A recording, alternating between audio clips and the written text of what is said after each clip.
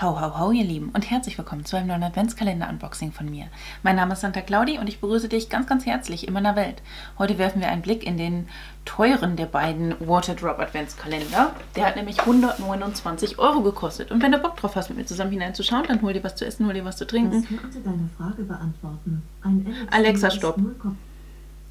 Lehn dich zurück, genieße die Show und viel Spaß mit dem Video. Ja, Manchmal möchten hier auch äh, ein paar Zuschauer mit dabei sein. Nicht nur mein Hund Sammy, sondern auch die Lady von da vorne.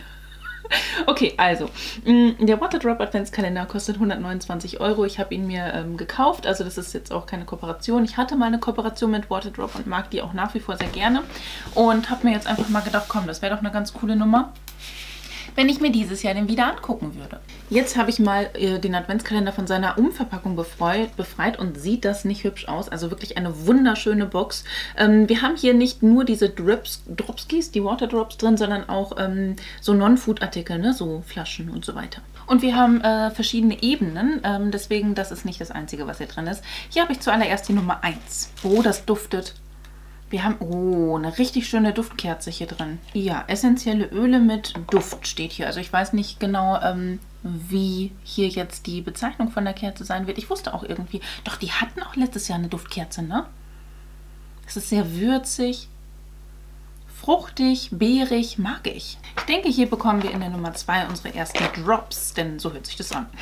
Es gibt auch neue Geschmacksrichtungen, die ich persönlich noch gar nicht kenne. Ich habe mir auch ein paar neue bestellt und hier habe ich äh, Coco Pina, Coconut Pineapple, also Kokosnuss und Ananas und äh, hier sind einfach Microdrinks drin. Genau, das dürfte auch eine große Packung mit zwölf Stück drin sein. Wer die Waterdrops noch nicht kennt, ähm, das sind halt einfach so Drops und die schauen dann einfach so aus, ne? sind dann halt in so einem äh, einzelverpackten Gedönsen. Dann kann man sich den nehmen. Ich habe jetzt hier einfach noch ein halbes Glas Leitungswasser. Kann ich jetzt hier mal zu Demonstrationszwecken für euch mal reinmachen. Und dann löst sich das halt auf und dann hast du Geschmack mit Wasser. Finde ich ganz gut. Selbstverständlich auch mit dabei ist die Nummer 3. Ach, guck mal, hier haben wir so Deckel drin für die Flaschen. Was das hier ist, weiß ich noch gar nicht. Ne? Das sagt mir jetzt so nichts. Und halt so ein äh, ja, Draufdrehdeckel. Wahrscheinlich kann man das dann genauso da drauf drehen. Interessant, ne? Ja. Hier haben wir die Nummer 4. Und auch das Boxendesign gefällt mir. Ne? Das ist wirklich sehr, sehr hübsch gestaltet. Ich bin ehrlich, ich würde das hier jetzt eher so als Füllmaterial bezeichnen. Weil ähm, wir haben hier einen Kugelschreiber von Waterdrop drin. Ist hübsch, also ne, ist ganz cool. Hier hast du irgendwie eine, eine rote Mine, die ist aber wohl schon ausgelaufen. Ich nehme mal hier so ein Blotting Paper. Das hat ja nicht so gut funktioniert. Oder war das jetzt einfach nur... Nee, das ist Quatsch. Das war nicht ausgelaufen. Das ist extra so ein Verschluss, damit er nicht austrocknet. Oh, oh und der malt schön blau, ne?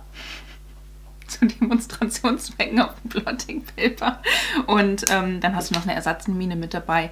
Also ich werde es verwenden, weil ich halt viel schreibe und so, aber ja, hätte jetzt... Das ist jetzt wirklich Füllprodukt, ne? Der 5. Dezember, ein Tag vor Nikolaus. Hier ist äh, noch mehr Non-Food. Also bislang haben wir wirklich nur ein Waterdrop-Gedönsen gehabt. Ne? Das ist gut, weil die wahrscheinlich auch werttechnisch nicht so hoch liegen wie zum Beispiel eine Kerze. Hier haben wir, aber das finde ich ehrlich gesagt cool, ist jetzt ja auch mega angesagt, ne? Ähm, für eine Tasche ein extra Gurt und das ist ein wirklich schönes Beige und hier kannst du es halt so dran machen. Na, das ist schon hübsch, ne? Das hat auch so, so Gold-Applikationen ja, braucht man halt nur eine Tasche, wo man es dran machen kann. Vielleicht haben wir ja Glück und die Tasche ist mit dabei. Das weiß man ja nicht, ne? Das wäre auf jeden Fall eine ziemlich coole Sache, muss ich sagen. Also für Nikolaus ist die Nummer 6 ganz schön klein. Ja, ähm, mit diesem Kügelchen kannst du die Stahlflaschen von den ähm, Waterdrop-Flaschen oder generell von, also irgendwelche Stahlflaschen, so Thermoflaschen reinigen. Man hat es halt relativ häufig, dass wenn du da zum Beispiel so Tee oder halt auch Kaffee oder so reinmachst, dass sich das so am Boden absetzt. Ne? Das jetzt in Nikolaus, ja, gut, kann man machen, ne? Ähm, ja, ist aber praktisch, davon mal ab. Die Nummer 7. Hier haben wir wahrscheinlich wieder Waterdrops drin, weil die sind äh, vom Gewicht her und von der Größe her sehr passend, genau. Und zwar haben wir hier drin enthalten den Micro Drink Hydration Cubes with Real Tea. I, ich habe hier ein Haar, das nervt mich. Ähm, mm, ja, Eistee Peach mag ich sehr gerne. Hier sind auch wieder 24 Stück drin, äh, 12 Stück drin. Ne? Das ist auf jeden Fall gut. Weil ich glaube, viele mögen halt genau diesen Geschmack auch, ne? Die Nummer 8 darf machen, dass es kracht, aber es rappelt hier viel mehr im Karton. Ach, das ist praktisch. Das sind so ähm, Ice Cubes. Also es ist auch in so einer äh, relativ billigen Verpackung, ehrlich gesagt. Aber das ist total cool. Also die packst du dir einfach in den Kühlschrank oder ins Gefrierfach und die sind aus Metall. Und äh, dann machst du die einfach ins Getränk. Und dann hast du halt dein Getränk gekühlt, ohne dass sich da irgendwelche Eiswürfel oder so auflösen. Und ich finde, das passt auf jeden Fall zu Water Drops. In der Nummer 9 dürfen wir uns über irgendwas Riesiges freuen. Vielleicht über unsere Tasche. Kann man machen. Das ist halt so ein Überzieher, ne? so ein Thermoüberzieher für die ähm, Flasche. Und das hier ist im selben Design, was ich cool finde, wie... Ähm, diese, äh, ne, dieses Taschending. Ja, ne? Ähm, ich muss gestehen, ich habe sowas ehrlich gesagt noch nie wirklich in Anwendung genommen. Äh, ich habe einfach immer so die Flasche genommen, weil ich jetzt eigentlich, wahrscheinlich, wenn man wirklich draußen ist und dann was Gekühltes da drin hat, ne? Aber habe ich jetzt so für mich persönlich einfach noch nicht gebraucht. Und ich habe mich so gefreut. Die 9 ist riesig. Oh. Mal sehen, wie es in der Nummer 10 weitergehen wird. Jetzt hauen sie aber ein paar mehr Dröpskis raus. Und zwar habe ich hier den... Oh, den kenne ich auch noch nicht. Doch, den kenne ich wohl. Blueberry. Ähm, das ist auch cool mit äh, ja, Vitamin und Zink. Das ich trinke es für den Geschmack, nicht weil ich gesünder dadurch werde. Ne? Ähm, Micro Light und äh, da sind drei Stück drin. Das ist auf jeden Fall so eine kleine Probegeschichte, ne? aber ich finde es gut. Also ne? einfach um auch mehrere Geschmäcker hier drin zu haben, finde ich das auch okay, wenn dann auch mal so diese drei Dinger dabei sind. Wenn dann ab und an auch diese 24er dabei sind und gute andere Produkte, dann passt das schon.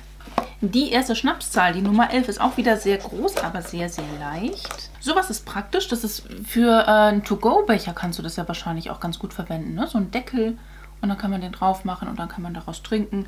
Jo, also wir haben jetzt echt ganz schön viele Deckel. Jetzt brauchen wir mal so langsam eine Flasche. Halbzeit, die Nummer 12. Ja, das ist auch so ein Dreier-Ding und das ist Nero. Das ist total lecker mit äh, Schwarzbeere und Cola-Nuss. Ja, also ich finde das sehr, sehr lecker. Das gibt auch tatsächlich so einen kleinen Koffeinkick. Was ich hier immer so ein bisschen zu bedenken gebe, das äh, färbt euch, euch halt auch wirklich das Gefäß so ein bisschen ein. Also das ist wirklich ein schwarzes Getränk, ne? Ganz witzig. Und ich kann jetzt ja mal zwischendrin hier mein Pineapple Coconut Pina Colada für Arme trinken.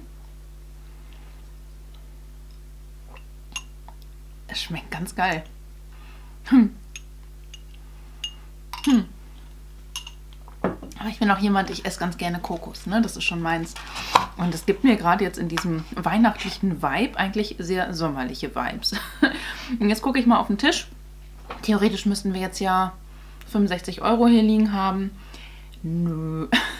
Haben wir definitiv nicht. Also da haben wir unseren Wert noch lange nicht raus. Mal sehen, ob die Nummer 13 uns da ein bisschen weiterhelfen kann. Das ist ganz cool. Das ist so ein Thermobecher. Das kann ich mir jetzt auch fürs Homeoffice sehr, sehr gut vorstellen. Also vor allem für meinen Freund im Homeoffice, weil der trinkt sehr oft kalten Kaffee dann. Oder halt auch für mich. Und da kann man dann diesen To-Go drauf machen. Das ist dann auch ganz praktisch, dann schwappt nichts weg. Das ist jetzt nicht super dicht oder so, weil du hast ja hier den Auslauf, ne? Aber ich glaube, dass es dann noch länger warm hält und wenn man dann wirklich in einem Meeting ist, ne? Das ist ganz gut. Nee, also ich finde es gut. Das ist äh, auch aus Metall, ne? Das ist schön. Die Nummer 14. Da haben wir wahrscheinlich wieder so einen Dreier drin. Auch blöd formuliert, ne?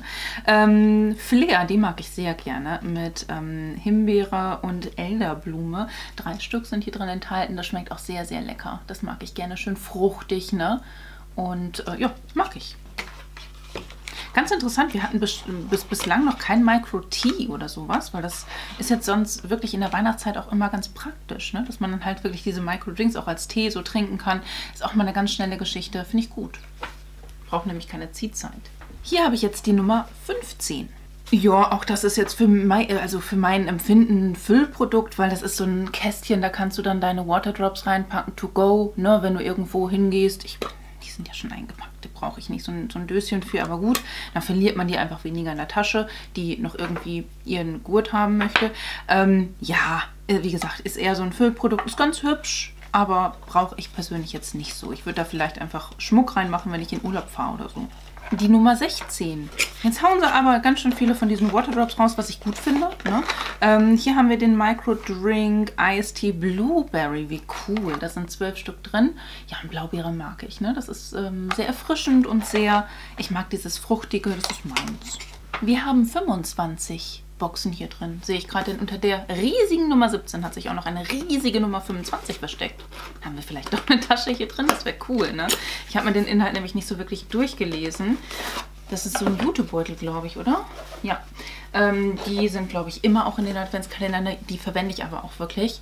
Finde ich großartig, ist eine nachhaltige Geschichte. Ne? Dann spart man sich halt einfach, dass man sich diese Plastiktüten äh, im Supermarkt mitnimmt. Und das ist einfach so, eine, ja, so ein schöner Jutebeutel. Ich mag sowas. Ich finde, das ist ne, auch eine gute Qualität. Sehr schwer, sehr, ähm, sehr dick auch. Und das mag ich. Mit den Vögelchen drauf und den Blumis. Ne? Herzlich willkommen in der Weihnachtswoche. Ich habe hier den 18. Dezember. Der ist sehr leicht. Oh, ja, gut. Braucht man, ne? Ist auch so eine Reinigungsbürste. Haben wir die nicht jedes Jahr drin? Ich glaube schon. Also manche Sachen, die sind halt wirklich alte Bekannte.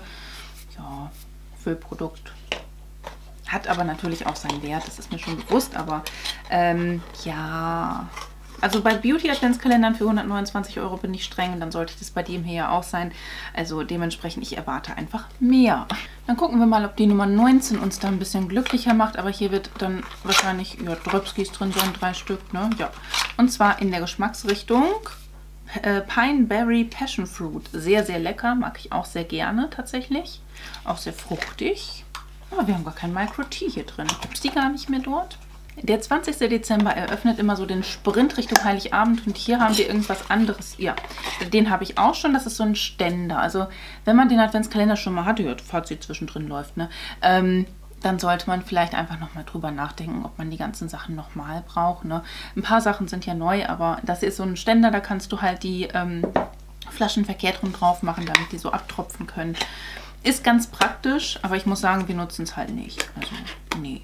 Der 21. Dezember enthält, glaube ich, auch wieder so ein 12er-Pack. Genau. Und hier haben wir Snow Blackberry drin. Ach, das hört sich doch gut an. Mal gucken, was da für Geschmacksrichtungen drin sind. Also, ähm, Blaubeere, ähm, Blackberry, Schwarzbeere und Apfel. Okay, also nichts mit Zimt oder sowas. Das heißt, du kannst es auch ganzjährig trinken. Cool, das äh, hört sich sehr, sehr lecker an. Auch der 22. Dezember scheint solche, ähm, so ein 12er-Pack zu enthalten. Jedenfalls vom Geräusch her. Und das ist Tea Lemon. Ja, ne? Das ist auch, also Blaubeere, Limone und Pfirsich als, als ähm, Geschmacksrichtung ist, glaube ich, auch wirklich sehr gefällig. Jetzt wollen Sie es zum Ende in echt nochmal wissen. Ne? Am 23. Dezember, ein Tag vor Heiligabend, haben wir nämlich nochmal so ein Dreier äh, Sachet drin. Und zwar ist es ein Micro Light Grapefruit und ähm, ja, da sind drei Stück drin. Das scheint auch so eine Reihe zu sein, wo es halt irgendwie um die Elektrolyse oder sowas geht. Also ich glaube einfach tatsächlich nicht, dass mich solche Drops jetzt gesünder durchs Leben gehen lassen. Das macht ein Apfel. Aber sie regen halt an, dass man mehr trinkt. Und ich glaube, das ist der Punkt, der dazu führt, dass ich mich dann halt auch gesünder fühle, wenn ich die trinke. Ne? Weil ich halt mehr trinke, weil ich da mehr Bock drauf habe und einfach ein schlech weniger schlechtes Gewissen deswegen habe. Ja. Sicherlich haben wir am 24. Dezember dann auch unsere Flasche drin. Also ich weiß nicht, ob ich das irgendwie auswählen konnte oder so, welche Farbe ich will oder welches, ähm, ob ich eine Glasflasche oder eine Metallflasche möchte. Ich habe auf jeden Fall hier eine rote Metallflasche drin mit so, ja, dem Muster, das wir auf dem Adventskalender ja die ganze Zeit schon gesehen haben, in Silber. Und hier kann man das Ganze öffnen. Und da ist kein Deckel bei, also dann, ganz ehrlich, hätten sie doch das hier irgendwie in ein Kläppchen machen können. Hm. Das finde ich jetzt sehr weird, bin ich ehrlich. Also das bei einem 130 Euro Adventskalender gehört das in ein Kläppchen. Hätten sie nicht so angeben brauchen, dass die hier noch ein 25. Äh, 25. 25. Mensch Kläppchen drin haben. Und ich glaube, hier haben wir was zum Schreiben drin. Genau, das passt dann zu unserem Kugelschreiber, was schon wieder ganz cool ist. Das ist einfach ein Planner 2024 ich weiß gar nicht, habe ich nicht sogar dieses Jahr den, nee, das ist noch ein anderer gewesen, ne? da hatte ich ein, habe ich ein Ringbuch oder sowas. Ähm, Finde ich auch cool, habe ich auch schon mal in Anwendung gehabt. Für mich ist es super, weil da konnte ich halt dann meine Tage planen mit den ganzen Videos und hier konnte ich mir Notizen machen, was ich vielleicht so in dem Video gerade so akut brauche oder so. Also finde ich, ist eine ganz coole Sache. Zwischendrin ein bisschen Werbung, das ist alles vollkommen in Ordnung. Ne? Ähm, ja, das ist, das ist schon cool. Also dann hat man hier nochmal so ein Buch mit dabei, was dann natürlich auch hier zu dem Stift passt. Das macht dann durchaus Sinn in der 25. Ja, okay. Jetzt haben wir den Adventskalender einmal komplett ausgepackt. Also, ähm, wenn man den noch nie vorher hatte, dann ist das, glaube ich, eine ganz coole Sache, weil dann kann man mit diesen Tools, die dabei sind oder diesen Non-Food-Artikeln deutlich mehr anfangen. Wenn man aber schon mal letztes oder vielleicht auch vorletztes Jahr den Adventskalender hatte, dann ärgert man sich vielleicht, weil da die ein oder andere Wiederholung drin ist. Aber wir haben hier sehr, sehr viele von diesen äh, verschiedenen Geschmacksrichtungen drin enthalten. Ich vermisse wirklich den Micro Tea. Vielleicht gibt es den einfach nicht mehr, aber es hätte einfach so gut zu Heilig, also zu Weihnachten zur heiligen Zeit halt gepasst. Ne? Und ähm, ich finde diesen Becher großartig. Den, das ist wirklich so eigentlich mehr oder weniger mein Highlight, auch wenn ich diese Flasche sehr, sehr feier und vor allem mein Freund die auch in reger Anwendung haben wird. Ähm, ja, also es ist ein schöner Adventskalender. Man muss halt nur für sich selber entscheiden, ist es einem das wert, weil hier kann ich euch ja mal den äh, reellen Wert einblenden, teilweise wahrscheinlich geschätzt, aber ähm, ja, ne? Ist eigentlich gut, aber irgendwie Weiß ich nicht. Es ist halt schade, dass hier sehr, sehr viele Doppelungen drin sind. Ich glaube, das ist das, was mich gerade auch ein bisschen nervt. Ne? Aber na, trotzdem. Ich freue mich drauf, jetzt in den nächsten Monaten, Wochen, wie auch immer, mir die ganzen Waterdrops zu genehmigen, weil dadurch trinke ich wirklich mehr. Das habe ich bei mir selber gemerkt. Ne? Die ganzen anderen Tools. Hm. Also wenn die jetzt hier wirklich eine Tasche reingepackt hätten, passend zu diesem Band, das wäre richtig cool gewesen. Da hätte ich mich auch sehr, sehr drüber gefreut. Den Planner finde ich eigentlich auch gut, ne? wie gesagt, aber ähm, ich weiß nicht. Wahrscheinlich, mich stört das, mich stört das, mich stört das, mich stört das. Mich stört tatsächlich sogar der Kuli. Und das stört mich auch, weil 129 Euro sind 129 Euro. Schreibt mir aber gerne mal eure Meinung in die Kommentare, da können wir uns gerne austauschen. Und ja, wenn es dir hier gefallen hat, ein Däumchen, ein Träumchen. Ansonsten wünsche ich dir einen wunderschönen Tag, einen wunderschönen Abend. Fühl dich ganz doll gedrückt von mir. Lass es dir gut gehen und hoffentlich bis zum nächsten Mal. Ciao.